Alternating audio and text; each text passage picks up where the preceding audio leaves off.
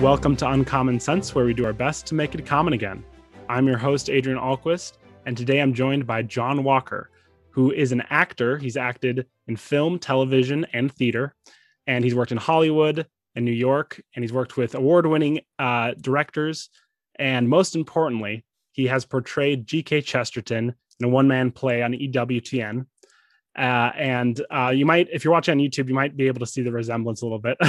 now, I, I started to see it in a good way. Um, and and uh, he's a professor at the a professor of theater at Franciscan University. So, how are you, John? I'm good, thank you. I'm in the middle of summer, so uh, suddenly I'm reading books. I, I, I put on the shelf, and I'm thinking about other things. Getting ready to go down to EWTN, I guess, uh, uh to film some episodes of GKs. Oh, great! Yeah, um, well, I'm definitely going to ask you about that and what drove you to take up the mantle of GK Chesterton. Mm. Uh, but first, uh, I'm going to announce some exciting news about our conference. Uh, I've been I've been touting the conference for a while now on the podcast, uh, and it's happening on July 29th to 31st this summer in in Chicago. Uh, but the exciting news is that Seth Dillon, the CEO of the Babylon Bee, is coming to speak at our conference, and it's very exciting for us. I'm sure a lot of people uh, a lot of you know that the Babylon Bee. It's a satirical news source. Um, and uh, if if you don't, definitely look them up because they're very very funny. I I we were just talking before before this, uh, John. You you've seen it, right? You've you've yeah. read it at least. Yeah, yeah I, I, was looking at it last night. The a T-ball story absolutely cracked me up. That's great. And you're coming also to the conference, right? Yes, I am. I absolutely wouldn't miss it. Great, great. Yeah. So everyone, please go to chesterton.org slash conference to sign up uh, you can enter in the podcast the, the promo code podcast one zero to get uh, ten dollars off if you're not a member. If if you're a member, you get an additional discount. Um, and so yeah, let's let's get into it, John. Okay. Uh, so can you give us a little background on your acting career? You know who you've worked with, what draws you to acting yeah sure. Uh, you know it's i look back on my my my biggest time of my success was in the uh, mid 80s to the late 90s so now that's beginning to look like ancient history. Isn't it like a car? When a car gets to 25 years it automatically gets antique plates? So it, it, it, almost you know there comes a point now when i talk about my work and there i mention actors or directors and everyone goes who? So um, I worked with, uh, sure, I worked with Academy Award winning directors like Norman Jewison, Sidney Lumet. I worked with uh, Tony Award winning directors like Eric Simonson, um, Will Smith, uh, Dan Aykroyd, uh, just a, a, whole cavalcade of famous people at one point or another. Um, I, I, kind of jumped right into uh, film work right after grad school because I was being screen tested at um, Disney and Paramount for a couple things, but they didn't know what to do with me because I was so tall. I'm six four and a half. Uh, hey, Chesterton's height. Uh, yeah, which came in handy later. Um, um, so I, yeah, and then, then I did theater. I did a lot of Shakespeare festivals from New England back to Los Angeles because that's that was my first love. Um, and so uh, yeah, I, I was in Hollywood for about, uh, I guess, 15 years. Um, I just never ever felt really comfortable there. Uh, I don't know. It probably was just me. I'm a New England guy, and I like four seasons. I don't think it's just you. I, I think I'm, I'm i think it's surprising that it didn't spit you out. Well, there was a time. I mean, um, every actor when you're coming up, um, and you're a working actor, there there comes a time when you, you get to a point where they start throwing bigger fish at you and bigger parts. And um, and generally the way auditions go you'll get your lines but you won't see the final script till five auditions down the road when your agent is talking about your contract. And that's maybe when you see the whole script. And we got to one point where there was a script that came across the boards so we got through the five auditions and we were in the the money phase. And they sent me the script by messenger and i read it and i went I, I can't i can't do this you know, and I called my agent and she said, I got a problem. She says, Is this a Catholic thing? I said, Yo, I yeah, I think so. And she goes, Oh, that's bad. And I went, Yeah, yeah, I think it is. So she was totally in favor of it, but she let me know, you know, you're gonna get blackballed for a little while, um, in this city anyway. So, you know, I just said no because uh, we hadn't had kids yet, but I just knew when we did, I couldn't have that stuff on YouTube or something. So when we moved back to New York and I became a big hit in cop shows, we we wrote it out in a different city for a while. Um, but yeah, it was the career was good. It started in theater. It started with Shakespeare. It, it landed into television and film. I'm not quite sure how. I mean, it's it's so accidental and arbitrary sometimes. And I think that's really frustrating with actors because they say, you know, it was just a lucky chance I bumped into so and so and met that person. And it really is true. But you know, the, the thing of it is, you have to be ready when you get that opportunity. It's like a baseball metaphor. You know, you can work out and train and swing the bat all the time. And one day you will get a perfect pitch. But if you haven't prepared for that, um, you won't be able to hit away. I mean, Hamlet was right. The readiness is all. So uh, I guess, uh, yeah, some of my uh, work was based on luck and chance encounters, and, and I was just lucky enough to be ready to, to perform when I got the chance. Yeah. So. Yeah, unfortunately, I'm not surprised that Hollywood asked you to compromise your morals, basically, and you had to get out. Uh, I mean, yeah, you know, I hate to be the one who jumps on that bandwagon, um, but I found it happened more than once in my career, and uh, it was just tough, uh, especially when I had a kind of I was kind of famous for cop shows, and they would find some really gritty uh, movies and topics to cover, and I was just like, you know, no, nah, I can't do it. Mm-hmm. I, just, I can't. I can't pervert the art that filmmaking and storytelling should be. Right. You know? Exactly. Yeah. Well, yeah. it's good they had fun while it lasted, at least. well, we, you know, we made our income, we paid all our bills, we bought a house, we paid our cars, all our health insurance. It all came from either the Screen Actors Guild or the Actors Equity, which is the Stage Actors Union. Mm-hmm. So we which had a great more, ride. Well, which is more than most actors can say, even if they do compromise their morals. So yeah, you know, I had a, I have a lot of friends who are still in the profession, finding their way through it, and we always said. I mean, I was really grateful. I got a couple acting awards from the LA Times and theater. But the thing is, if you can pay your bills and pay your rent from acting, you, that's it. There's nothing. That's the success ratio. That's less than two percent of the union. So so you know. Yeah, yeah. I know. Yeah, that's that's good. And um, so something I didn't mention in your introduction was that you wrote a book called Chasing Chesterton: An Actor's Journey in Faith. And yeah, you could call it a book. is it? what what should I call it? A comic book. It could be a coloring book if I had more pictures in it. Um, I, I, I, I always, you know, especially speaking with you, um, you, whose father is Dale. You know, I I, I, there are people who write books, all right. They're like Joseph Pearce, they're like Dale Ahlquist, they're Kevin O'Brien, Nancy Brown.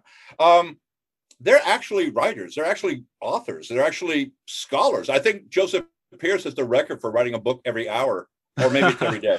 Um, so you know, when I think of this uh, little pamphlet that happened, um, and you know, it just I always get a little knee jerk because um, you know I'm, I'm not a writer. Uh, I'm an actor and I write scripts, but um, a book was something new for me. And uh, it was a problem was I kept telling people I was going to do it. You know, you know how you throw up test balloons? Well, I kept telling people, well, I'm going to write this book about Chesterton. I'm going to write about how I discovered him and how I made this one man play and how it came about. And they'd say, oh, that's a great idea. Or they'd say, oh, really? You're going to write a book? so I would go around to the entire Franciscan community till I had told everyone this thing would, they would see me coming go, yeah, John, you're going to write a book. Um, and just to see what, how their reaction was. And then it came to the point where I, I kind of had to do it. yeah, right. so it, it came about. Um, yeah, I'll, yeah. I'll, bring it to the conference. Maybe I'll sell a couple, but um, you should. Know, you should. It, I get a little nervous. no, I, I, think uh, I don't think you have to be a scholar to write a book. I, I think sometimes Obviously. scholars are overrated. but no, um, so so obviously I, you should probably be in. My name is Lazarus. I've interviewed a lot of people whose conversions were influenced by G.K. Chesterton. Yeah, and that's sure. obviously at least. I mean, eh, Chesterton has influenced your faith, Huge and I'm wondering. Yeah, yeah, yeah, yeah. I so, mean, my conversion was before that, um, but it, it grew in it grew in deeper and more stronger roots because of my connection with Chesterton, which I didn't expect at all. Because I didn't I didn't know who he was, you know. I didn't know who your dad was. I didn't know who the associate I didn't know any of this stuff when I first landed on him. Okay. Wow. Okay. That's that's good to know. Um, and so what what did having being an actor have to do with it? Uh, I started in high school. Um, you know, I made little Super 8 movies and stuff, and I, I, I was kind of a loner of a kid, uh, kind of weird. And I, I wanted to uh, have a group to hang out with. And I remember my sister, who used to paint sets for the drama club in high school, had so many friends. I thought, wow, that's really a cool community, you know, that, that comes together like that over over this silly production stuff. So the only problem was in high school, you had to audition for the first play in order to be on tech. So I auditioned and I ended up getting the lead in um this Shakespeare play, which was terrifying, but I I, I loved it. I had which, never which felt Shakespeare play? like that before. I don't really care too much about. I mean, the performance aspect is great because that's when you have the acting community and the tech community and the audience community coming together in a trinity. You know, yeah. Um, which, which no uh, accident? Which Shakespeare play was it? Uh, As you like it. Okay. Yeah. And um, so you know, but in the rehearsal, the process of creating it, that's my favorite part. It's great to get it to a show stage but then it kind of stays at, at this place. The, the collaborative process of creating theater is the part I really love. Mm-hmm. And so uh, I just fell in love with it. And it turned out I was kind of good with it. And I just kept doing it. Um, and I never looked back. I knew at 15 that that was it. That was who I was going to be, one way or the other. Yeah. I, where, have you been in Macbeth? Oh, Mackers. Yeah. yeah, I know. I, I, don't, I don't, it's terrible. Um, it's just tradition though. It's not superstition. Yeah, yeah. I, have been in Mackers. I've been, uh, I've played uh Macduff when I was younger. I played Malcolm. Um, and that's about it. Uh I, I got to I star clear of that. But I mean, because Shakespeare had some stuff going on when he wrote that. I mean, he had King James, the guy who wrote the handbook on how to catch witches, come down from Scotland to become king, and he wrote a play about a Scottish king who listens to witches and destroys his life. I mean, so Shakespeare, you know, he knew what he was doing when he wrote that. Wow, I didn't know that. Okay, wow. Yeah, really so cool. um, so there's a lot of stuff. There, there, there's always the story of the curse, but you know, yeah, there's all sorts you... of stories about theater. Don't whistle backstage because in the old days, if you whistled, birds would nest in the thatch and they poop on the audience. So you know, right. There's all that stuff. Have the, you read, the reason there's um, so many accidents in Macbeth is because they do it with candles and lanterns and people trip. I think. gotcha. Yeah, that makes sense. Have you read Joseph Pearce's uh, any of his work on how Shakespeare uh, yeah, he was crucial. In fact, I forced him to be my friend. Um, I, I don't know how he'd look at it, but back when I was working at a monastery and um, raising goats and cattle and whatnot, um, I, uh, I, I read his book upon about the annotator. Uh, about Shakespeare's discoveries of that, the kind of discoveries of Shakespeare's works and things in his personal life that really led to him being a, a Catholic. And I was fascinated by that. So I wrote to Joseph Pearce after I read one of his books and asked him for other books to read. Oh, and cool. he wrote back. And so for a little while there, I could walk around and go, Yeah, I talked to Joseph Pearce today. He said this book's pretty good. so, you know, I had I, I read most of his stuff on it. I think he's dead on. And I've quoted him in classes all the time. It's uh you know, there, there's a lot of stuff. We, that'd be a whole other podcast of how yeah. you can follow Shakespeare's Catholicism and why he lived such a quiet in the background life in a police state. You know. Gotcha. Yeah, I, I only asked about Macbeth because I got to star in that when I was uh, senior in high school, and I got to you know be Macbeth, and that was intense. That was probably my favorite play that I was in for sure. Um, but I lost you know more than 20 pounds doing that that play. I was already a skinny freshman. That's what I should do. I should do it then. no, yeah, you're fine. You have to play. you have to keep being Lear. I'm really a big fan of Lear. Um, and of course Hamlet. I, I got that one when I was really young, like 23, and that was, and I just happened to get such a great director that I, my mind just opened on the way to work the text and the way to look for clues in the text of how to perform it. So gotcha. Shakespeare is like, you know, it's like Chesterton. You can't read enough. You can't do it enough. Yeah. It will always improve every time, you know? Mm-hmm, for sure. I agree. Um, okay. So, uh, you decided to take up the mantle of playing Chesterton, uh, as we just mentioned. And so, why, what, why did you do that? What, what drew you? I don't know. To make that decision. Tired. I made a bet. No, made you made a bet. Decision. Well, I was. I, we had left um, the city, um, and I, we were in Vermont, and we had moved up to Vermont so I could be close to my folks because they were getting older, and I wanted to be there to help them out. And I wanted my kids to have some clean, fresh air and not live in these cities that my career dictated. And I wanted to do some teaching. I was really tired of the places my career always went up to, and then I had to say no. Mm-hmm. So we were in Vermont, and of course, after a few years of directing theater and stuff, I was like, "Gosh, I really miss acting." I, and I thought about, you know, I'd written a one man show before for somebody else, and I had seen some great, a great one man show on C.S. Lewis um, past Watchful Dragons, I think, in, in London. And I thought, you know, I really need to do a one man show. I just got to figure out who to do it on.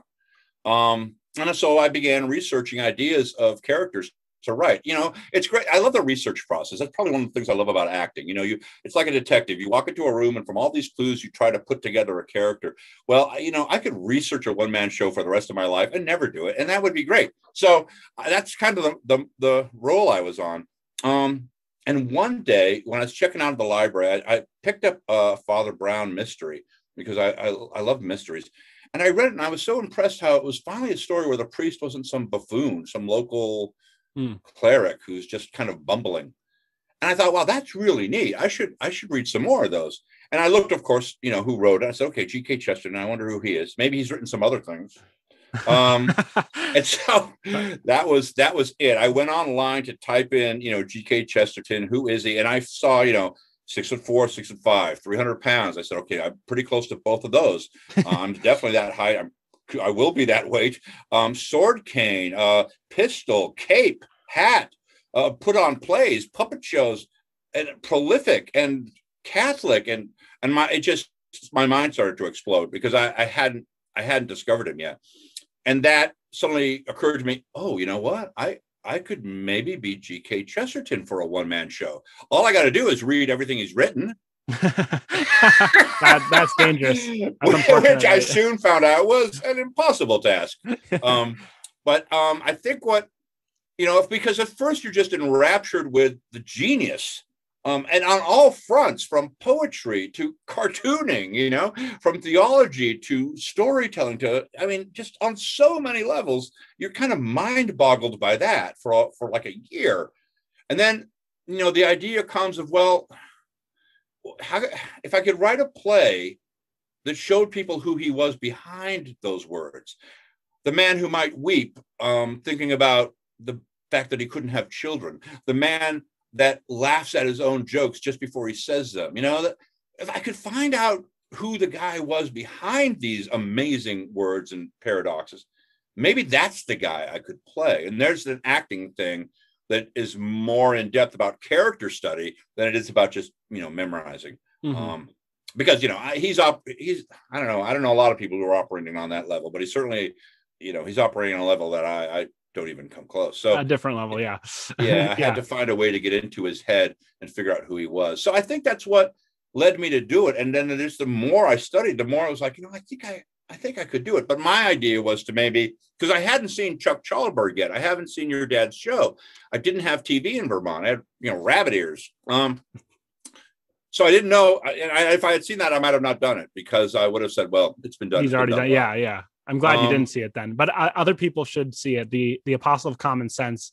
Oh, it's brilliant! It's yeah, brilliant. It's I met, I was lucky enough to meet Chuck in Kansas City, and I was a little afraid to speak to him because by then the Golden Key had come out on EWTN. But we had the best time talking about history, and he's just a marvelous guy. He paid me a really great compliment too about um, my Chesterton being, you know, an actor's really an actor's portrayal, um, and that, that, that, just was amazing coming from him. But, but anyway, the, uh, yeah, so way, I started doing the research and putting it together, and piece by piece, uh, with that idea of being the man behind the words, started to sink in.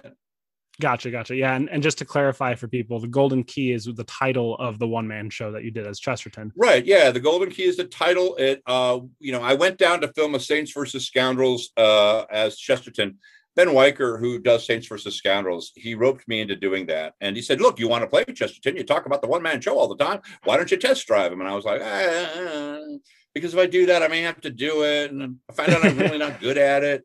Yeah. So I went down and I did it. And he, I had a beginning and an end to the Golden Key. I had very little in the middle. And he went up to the executives at EWTN and said, Hey, you should talk to John. He's got a great one man show on uh, Chesterton called the Golden Key. And they said, "Oh, we hear you've got a great play." And I said, uh, yeah, "That's sort of kind of." and they said, "Well, you know, send us a copy as soon as you can, and we'll take a look at it." And I, for some reason, and I'm not a very fast writer, uh, I wrote seven drafts in seven months. It had uh, seven drafts in seven weeks. It had to be like the Holy Spirit, you know. That's all mm-hmm. I can think. Gotcha. So I turned it in. They liked it, and they said, "Look, instead of you doing it at parish halls and, and little little places in no middle of nowhere, or not doing it because of being so lazy. How about we film it here on EWTN and make it a, a special episode, a special series? So I jumped at it, you know, because I, I didn't know if I'd ever get to do it really. So that's and how. So without without about. spoiling too much, uh, what is it about other than just you know Chesterton? What what is the specifics of your one man show on Chesterton?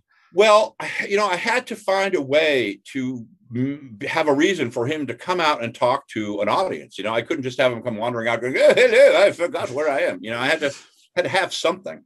Um, and I thought, you know, I was reading The Great Divorce, and it occurred to me, what if what if GK died, and after he died, where did he go? I mean, what if God, in His all-knowing mercy, love, and wisdom, decided that you know GK should have a place of comfort to kind of get the transition in his head? What would that be? Market Harborough? It's a beautiful little town, beautiful little train station. He spent time in it before. And what if that happened and he ended up there? And through the course of being there, he had to unpack his suitcase and go through his voluminous pockets to try to find a reason why he was there. And in doing so, find articles and items that reminded him of his life. And so as it goes, he starts to realize something's different about where I'm at. Maybe he would come to terms with his life and leaving it. And then that would be the show. And that way he could unpack his life at the same time. So that's sort of how the show came about and how it became. Uh, that's sort of the format of it. Anyway. That's really clever. That's a very clever idea. Well, that's C.S. Lewis's. You know, it's his idea, and yeah. probably a few others before me. But it really was interesting to to write it that way. Yeah, um, yeah, that's cool. Well, I encourage everyone to go and can you buy it? Can you buy the the series? Yeah, you can or? buy the DVD at um, EWTN. They might be airing it again because once we filmed it, they said, um, "Would you be interested in making this into a TV series?" And I said, well, what would we call it? And they said, oh, it could be Chesterton Station. And maybe other people who have died that he might know are coming through and he has to help them with their transition. I was like, yeah. okay, yeah, I think that could be okay. So we wrote a couple scripts and they liked it. I'm going down in three weeks to film an episode with George Bernard Shaw visiting the station and um, Robert Louis Stevenson. cool. Shaw and I just argue all the time, dressed as cowboys. Um, That's awesome. Because we're going off to film for James Barrie. And Robert Louis Stevenson has a, a, a different, he's, he's dealing with the duality between in every man between yeah yeah. Gotcha. so anyway uh yeah i think that's going to start airing and it probably will show golden key again just to sort of boost the interest because we lost our production during covid like everybody else everything was canceled. Yeah exactly. Well that's really cool. Um is there anything else you want to say about about that and your experience being chesterton and your experience with chesterton? Uh, then i'm going to ask you about about another uh, question about the connection between acting and and Catholicism, and that's I've asked this to my other uh, interviewees on um, on the podcast. The but, thing, you know, I've played a lot of roles and a lot of plays. I've played a lot of villains in movies and in theater, Shakespearean villains at that. And you know, my wife would always say, "When is this play going to be over?" Because you are just not nice to have around in this guy. I don't like this guy. And um, she's never said that since I've been playing GK. And, you know, there's something about the joy, the simple joy. You know, I tell my students next time you go out and you're walking across campus and you're looking on a phone, turn off your phone for a second, look at the ground. What do you see? I saw a dandelion today. Said, well, there you go. That's a love letter from God. That's a that's a beauty, a piece of beauty He put there just for you. And there's a joy and a, a, a, wonder and a marvel at things that are that we normally pass by that really hooked me about GK, and that really changed. I think that was the faith journey that really got boosted by by spending time with him and playing him. Was yeah joy. You know? I, I, agree, and that's what we try to emphasize at the society. Uh, and I've said this a, a, lot of times. We want to renew the world through joy, through Christian joy, uh, yeah. and common sense. But partly, you know, part, part of this, the purpose of this podcast. But but um, but we also try to emphasize that at our schools. Uh, we want to instill joy in all of the students because um, yeah. it, can, it can be really easy to get just overburdened and burned down by the world especially you know I, am sure people can relate to that just with everything that's happened this last year but yeah everybody you, can sure but but joy is is an act of the will joy is is acting um you know it's not it's not fake acting like this is actually related to what we're talking about. It's not right. it's not a f- fake. It, it is actually an act of the will to to be happy and to be joyful. Yeah it's it, you, you are in control of your perspective. And you can you know choose to to let yourself be overwhelmed by stress but you can also choose to disconnect and find ways to see beauty still in the world you know? I mean beauty is the most powerful transformational thing. That's the that's beauty, truth, and goodness. I mean, that's Lubach looked at the rose window at Notre Dame and converted. So, you know, nice, that's a yeah. big part of being able to be aware of the beauty and the wonder around you. And it may not be a stained glass; it may be the gift of the dandelion. So, it's a it's being able to be in touch with that part too. I think. Yeah. Yeah. Absolutely. That's cool. So, so yeah. I mean, as we kind of touched on, acting in this world in our country and our culture has kind of been hijacked by you know secular notions and stuff like that but yeah it's not fair at all Okay. well, it's well, like wanted... the Romans. We're back at the Romans. You know, they the Romans took all the romance out of it and turned it into like crowd control and bread and murder. And then, so the holy the Holy Roman Empire comes over and says, "Hey, you know what? No more theater. You do theater, you're excommunicated." um, so we've been there already, but we're not doing that now. We're not excommunicating people for perverting the art. Well, but, right. You know, that's the, that's what I wanted to ask was was what there is something Catholic about theater. The Catholic so, Church brought it back. Yeah, it's our birthright.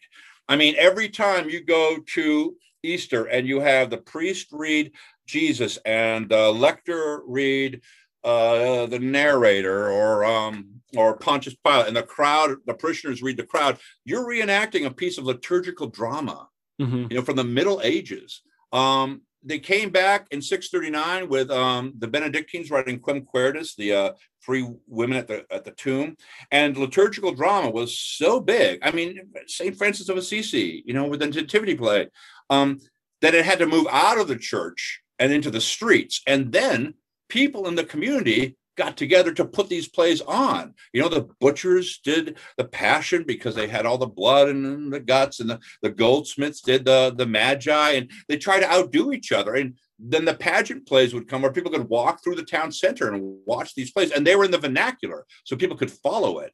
So where they couldn't keep up with the Latin, the average Joe and his wife and kids could watch the play on stage in front of them. We brought back theater. The Catholic Church brought it back. Um, That's really cool. So yeah. it's really ours.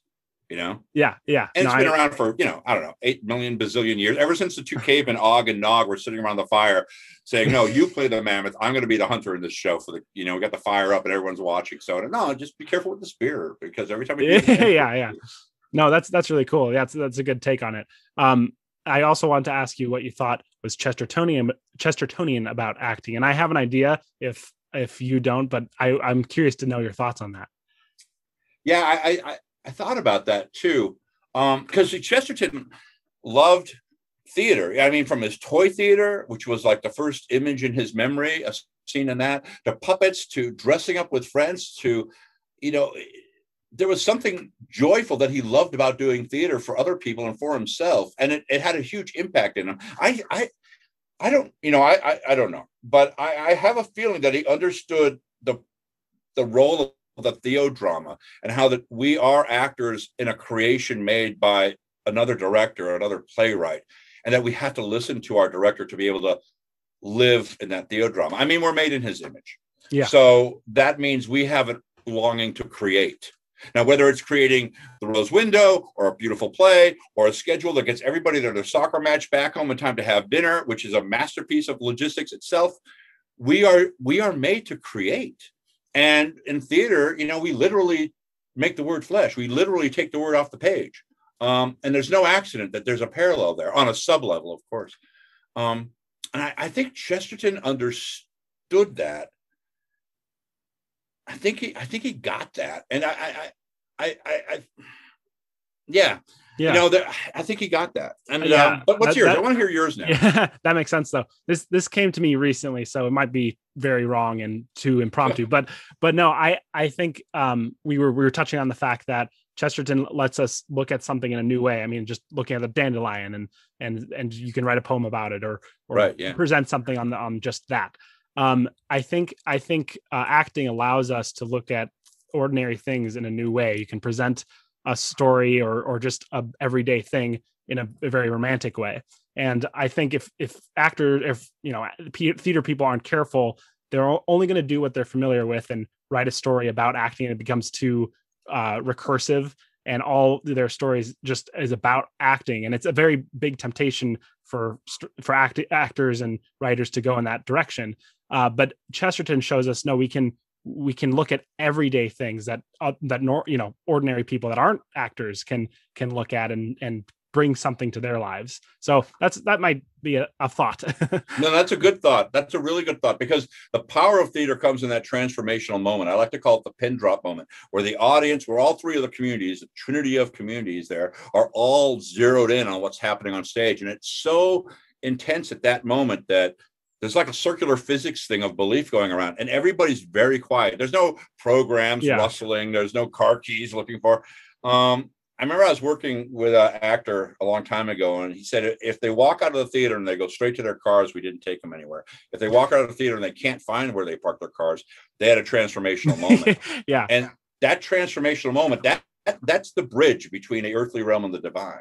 Mm-hmm, um, mm-hmm. If we use that moment right, that's why John Paul wrote the letter to artists. If we use that moment right, I think it, you do see things anew. You do th- see things like you've never seen them before, um, and that's what we should be focusing at is is presenting that moment in beauty, in truth and goodness, um, right. mm-hmm, and mm-hmm. not in you know just whatever is going to you know whatever yeah, flavor yeah. of the week. Yeah, I mean, and so I, I was just yeah, yeah, absolutely, I totally agree. Um, I was just thinking of this funny line in a in a show that I I watched one time, and and this guy decides to all of a sudden be a writer, and and the the person the publisher that he's talking to, she's like, oh yeah, I, t- I tried to do that once. My story was about a writer who was struggling with depression. And then and so that's what i was saying like that's what i think a good writer avoids. A good writer can write a story about a chef even though he's not a chef and it can be uh you know uh, chefs can relate to it you know and and and so that's that's something that chesterton could do. He could he could talk to to people and they'd be like i that's exactly what i was thinking. And he he put it into words in a majestic and a magnificent way. Yeah and he had a love for the common man and a love for for just the everyday guy. Yeah. um you know which someone of his genius doesn't necessarily have to have you know he exactly. was soaring above so many people um, in his intellect. But he he really had a love of the common experience you know?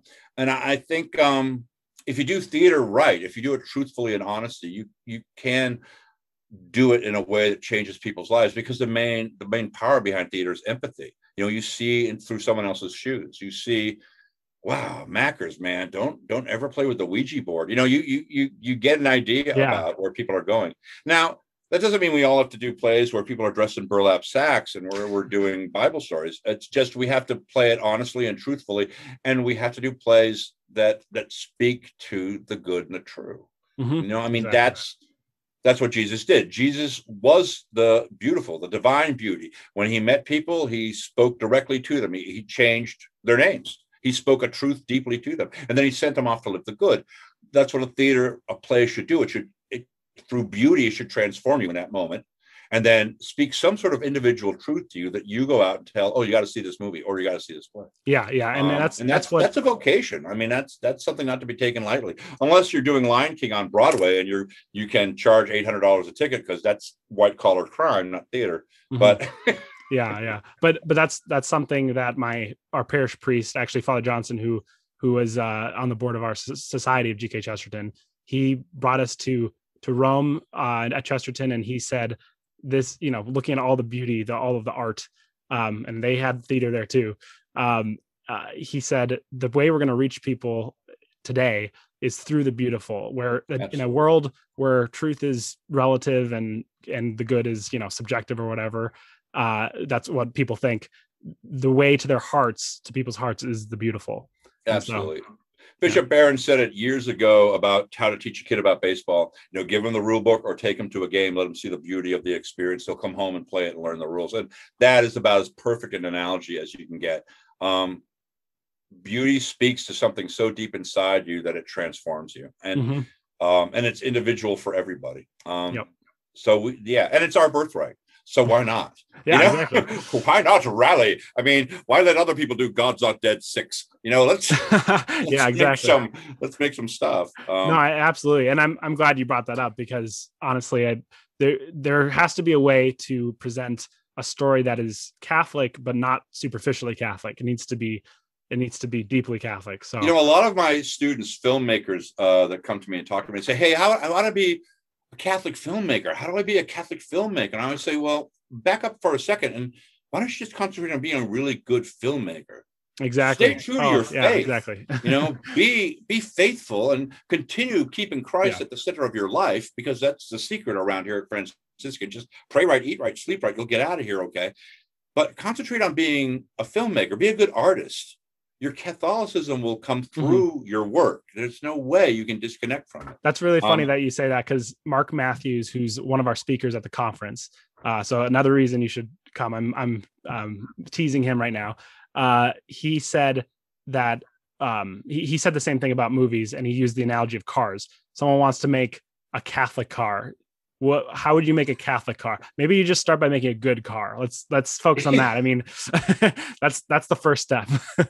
so, yeah, it's so yeah. true. And, but you know, I think we have fallen behind in our evangelization to culture through beauty. I, I I think we've dropped the reins on there a little bit. I don't I don't know why. I can't point to it. Um, but we've kind of let other people take that road um, mm-hmm. and do things with it and and succeed at it. But we've always kind of held back. Maybe people are afraid that it's going to change. It's going to become something different. Um, I don't know, but we really need to cash in on that. There's movies, films. There's a television series I wrote. There's lots of things out there that can be done and can can be done easily. Yeah, well, I, we need I a production company. I think um, I think the Passion of the Christ is a good example of a good movie, and it is explicitly Catholic. It's an example of a good and explicitly Catholic movie, yeah. and and that did very well. So, yeah. granted, Mel Gibson had to uh, market it in a different way. He had to market it to churches and sure, stuff. I, I go back to Bella in the 1990s, a movie called Bella that was a pro-life movie,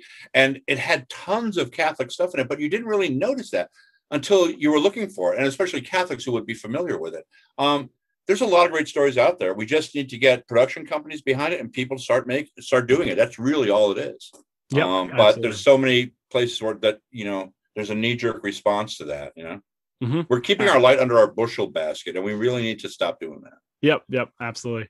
Well, um, John, I, I that's that takes me to the end of my questions. If you, you want to say anything else about uh, Chesterton or theater, um, we, are going to have to have you on again because I you have a lot of good stories and you like to talk. So there's a lot of stuff I didn't even talk about Balthasar and the Theodramatic or any Communio stuff, and I, I, didn't cover the dramatic gesture of Saint Francis. And oh no, well Francis we're definitely going to have to have you back on then. well, there's just I mean we're talking about a topic that, like I said, you know, you you, you start off in a library saying, "Oh, excuse me, but I found this book on G.K. Chesterton. Could you show me where some other books are?" And the lady takes you over to a door and opens it, and there's this long spiral staircase yeah. with volumes up to the ceiling and candles, you know. And there's people still down there eating cheese, trying to read through some. Um, so it's just it's a it's a wealth of material that you just you can't sum up in one thing. And we're talking about some pretty meaty topics about Catholicism and beauty and good and truth and you know so yeah we, there'd be a lot more to talk about i hesitate in offering any more insights into what i do or chesterton station or the golden key because um i will start enjoying the sound of my voice and you may never get out of here so um but well, no, hopefully so I, it'll soon be the voice of Chesterton in people's minds. Although you do have some competition with Chuck Chalberg, um, who's the person who portrays Chesterton on, on on my dad's show. no competition at all. Chuck is the first and the original. Um, and I'm grateful that I can follow in his shadow. And um, if I ever get a chance to do more of it, it will be through his uh, his acquiescence, I guess. Yeah. Um, yeah. in fact, I, I, when I first came out and started doing Chesterton and started to tour the show, you know, I saw um, in Gilbert, I was reading an article and I saw a picture of, you know, Chuck touring and I just pulled all my advertisements offline for touring my Chesterton until Chuck you know said I could. Oh, you know, wow. that, that's nice. That's well, that's how much I respect I have for Chuck and for your for your dad.